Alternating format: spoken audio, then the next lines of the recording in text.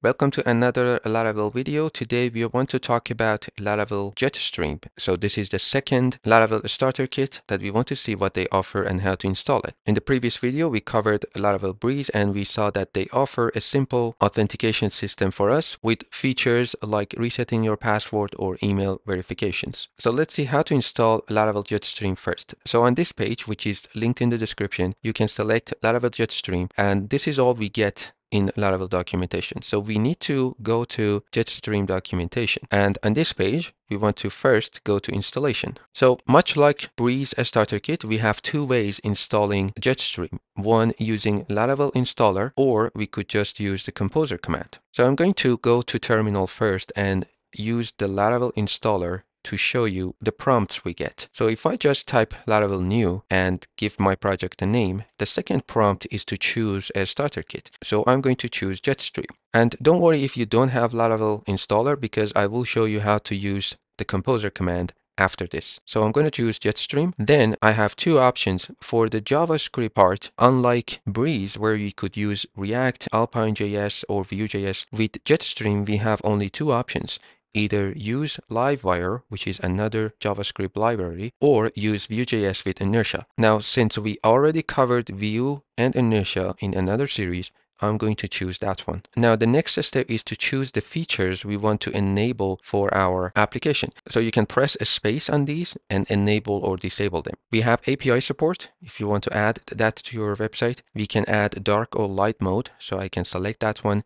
We can add email verification out of the box or we can add it manually later on. We can also add the team support feature. This will add a new system to our application where we can have teams to collaborate. So I'm going to enable that one too. And we can also use inertia server-side rendering. Now we haven't talked about this one, so I'm not going to go through it and I'm going to keep it unselected. So if we press enter on this one, we need to choose framework testing. I'm just going to choose pest. We don't need it anyway. And no git repository. And this will go through the installation. So the next prompt is our database selection. And I'm just going to choose SQLite. And as the last step, we get another prompt that says we need to rerun our migrations because now we have new tables and new columns for our teams feature. So I can just press yes, and this will run the database migrations in our project. So that is installed using Laravel installer. Now let's see how we can install it using a composer command, and then we will open it in the browser and VS Code to see what we have. So I'm going to go back to Jetstream documentation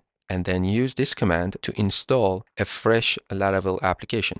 Also, I'm going to change the name to Jetstream and press enter. So this will install Laravel application with default values. So we have SQLite for our database and we don't have any JavaScript framework. So next we want to cd into that project. So let's just say cd Jetstream app. Then we need to install Jetstream using a composer command. So I will copy that and paste it in my terminal. And when that is done, we can go back to the documentation and continue. So first you notice we have a warning here that says Jetstream should only be installed into a new Laravel application. So if you attempt to install on an existing application, this will result on unexpected behavior. So the next step is to install the Jetstream using an artisan command. So you have all these commands that you can see here, but an easy way is to just copy this command, paste it in your terminal with an H flag that is basically asking for help. So if I press enter here and scroll up, so you notice the options and arguments we can use. First, we need to choose the stack. So either inertia or Livewire. So we can say PHP Artisan Jetstream install inertia. Then we have the options that we can enable using this double dash and then the name of the option. So if you want dark mode, you can use this flag. If you need the Teams feature, you can use this one or the API or email verification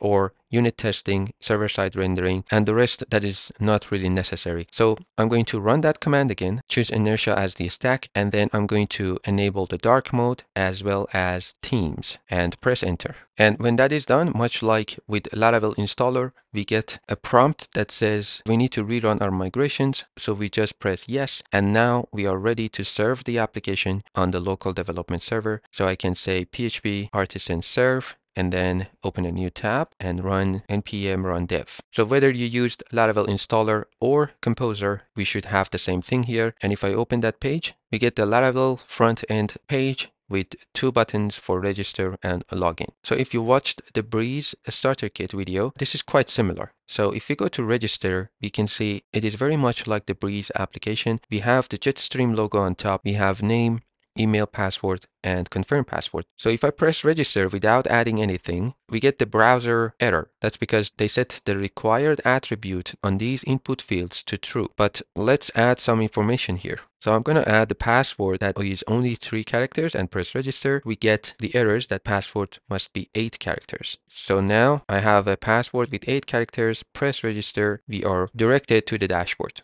So unlike Breeze, you notice we have a dashboard with some information about Jetstream. So we can go to learn about it or read the documentation and explore their features. Then on the top right corner, we have two drop downs. One is for our team, which we enabled and we will go through it in a moment. And then the other one is our profile. This part is kind of like Breeze, but it is designed a bit better because we have this manage account text here that says what this dropdown does. And then we have our profile and then the logout. So first I'm going to log out again. We are back to the homepage and then try to log in with this email that is not correct. So if I add some password and press login, we get the errors, of course. But now if I try to log in with the proper credentials, we are back to the dashboard. So now let's go to our profile and see what we have here in Jetstream. Similar to Breeze Starter Kit, we have sections. First one is to update our name and email, but now we have this nice information on the left side. Then we have the update password where we need to provide our current password and then the new password. Then we have two-factor authentication and the browser sessions. So these two sections are only available on Jetstream and we don't have this in Laravel Breeze. And we can enable this two-factor authentication which uses Google Authenticator and and I can just provide my password here that will give me a QR code that I can scan it with my Google Authenticator. And every time I need to log in, I need to provide that six digit code from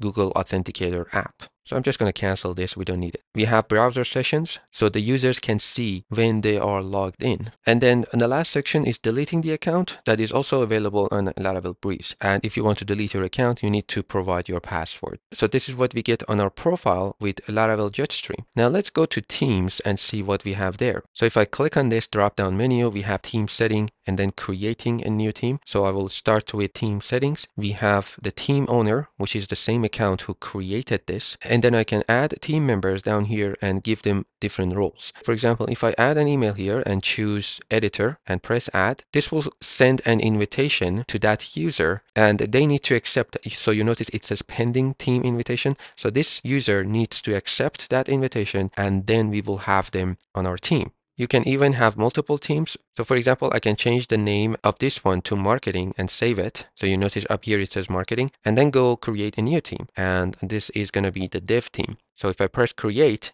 now we are back to dashboard and if we open this drop down which says dev team right now, uh, you can see we can switch between the teams or we can manage that particular team. In this case, it is the developer team and I can invite more people to this team. So Jetstream offers more security and features compared to Laravel Breeze. Now let's open this in VS Code and see what we have there. So this is our Jetstream app. And of course they use Tailwind for the styles. And then we can go through these files and folders and see what we have. So let's start with app, which is the core of our application. You notice we have an actions folder that includes Fortify and Jetstream itself. Fortify is another package by Laravel that is used for authentication. And Jetstream uses this package for the authentication system. And the Jetstream folder is handling the Teams feature. So we are not going to dig deep into these documents, but these are just controllers and handlers for different actions that Jetstream offers. Then we have models, policies, and providers, and you can explore all of these folders and see what we have. And we don't really need to know what all of these documents do. Let's move on to the resources where we have the views. So we have our app, which is the root document, and then we have our emails within the views. So we have a team invitation email. We have this markdown folder that is used for terms and conditions and policies. So you can include your website's terms and policy in these two documents that are markdown. And within the JS folder, we have our pages. So again, since we are using Vue.js, everything is within the JS folder. So if you were to customize your views, you could do so here.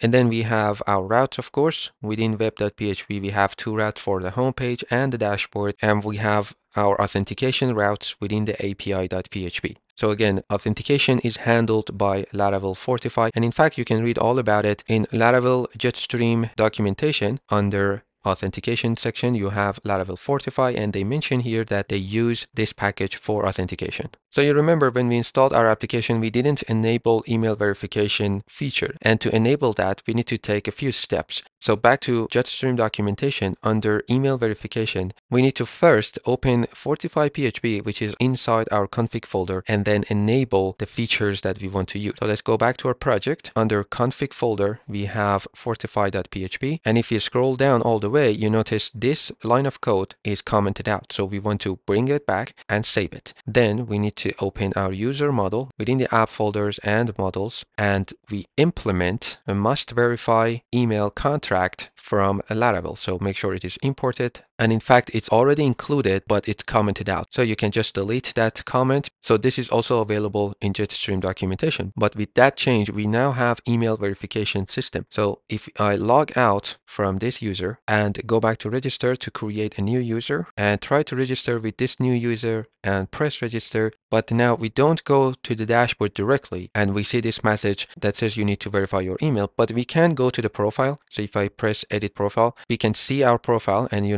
notice down here it says your email is unverified. So we need to verify that. But anyway, that's how you can enable email verification feature by editing your fortify.php and also implementing the must verify email contract in the user model. So that is all about Laravel Jetstream. So I hope you enjoyed this video and this has been helpful. Thanks for watching and see you at the next one.